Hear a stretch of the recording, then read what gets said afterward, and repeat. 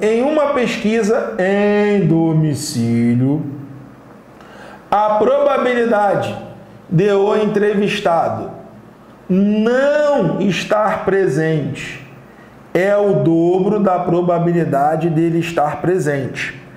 A probabilidade dele estar presente é, vamos lá, estar presente e não estar presente são eventos complementares, tá?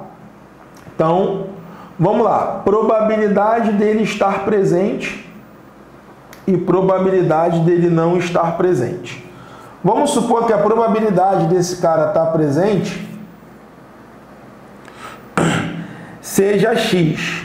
Se a probabilidade dele estar presente é x, dele não estar presente só pode ser 2x. Por quê? O probleminha está falando isso.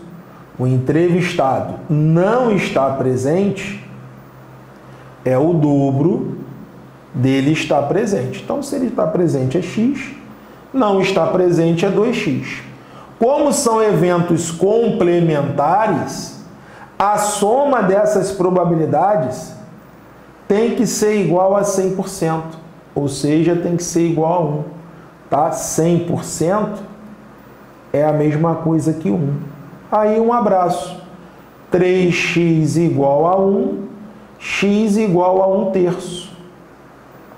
O que, que ele está querendo no probleminha? Ele quer a probabilidade dele estar presente. Opa, é exatamente o valor de x. Qual é o valor de x? 1 terço.